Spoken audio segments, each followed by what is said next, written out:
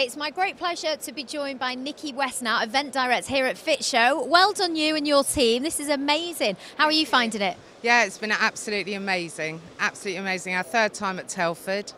Um, and we are so pleased. Yesterday, first day audience was really up on 2014 and 2013, so the show is going so well.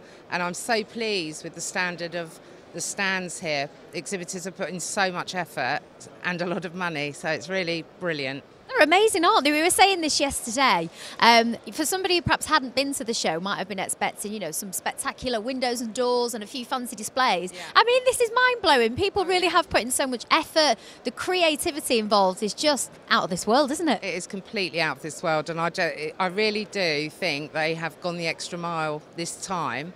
They've put money into the marketing of it, and the stands look outstanding. So it's brilliant, really good. And this year, as you said, is bigger and better than ever before, which is amazing. Well done to you all. Um, from obviously the planning um, stage, when you see everything, kind of all the ideas coming together, could you have imagined it would be like that, like this this year? No, not at all. They kept a lot up their sleeve, the exhibitors. So seeing it on the floor and such full halls is really fantastic. Really fantastic. And what do you think it is that's the main hook for this show? Because having spoken to a lot of the exhibitors, they now it's their number one go-to show to be here to mix with other people in the industry, to be able to showcase their um, products. But what, what is it when you speak to people? What's the main sort of selling um, of this show?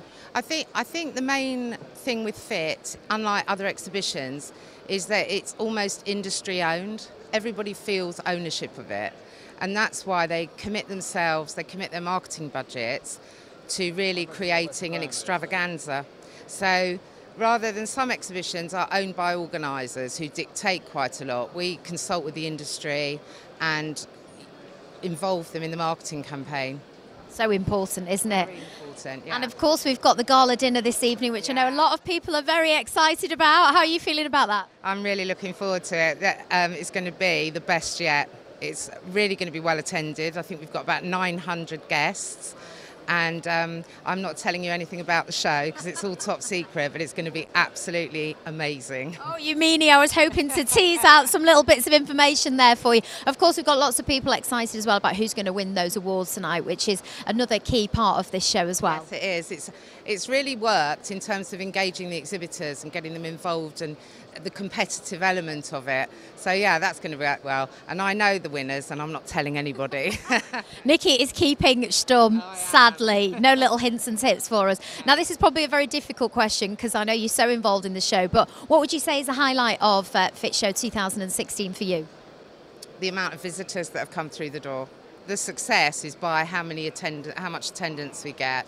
And yesterday we absolutely stormed it. We set ourselves, the team set ourselves unrealistic targets and we smashed them. So I am absolutely delighted with the support the industry have shown and they're still coming in today and they're hauled, so it's fab. Well, well deserved, Nikki. Well done again to you and your Thank team. You. I'll let you go. I know you're a very busy lady. Best of luck with the show, and I'm sure Thank we'll catch you. up before we leave.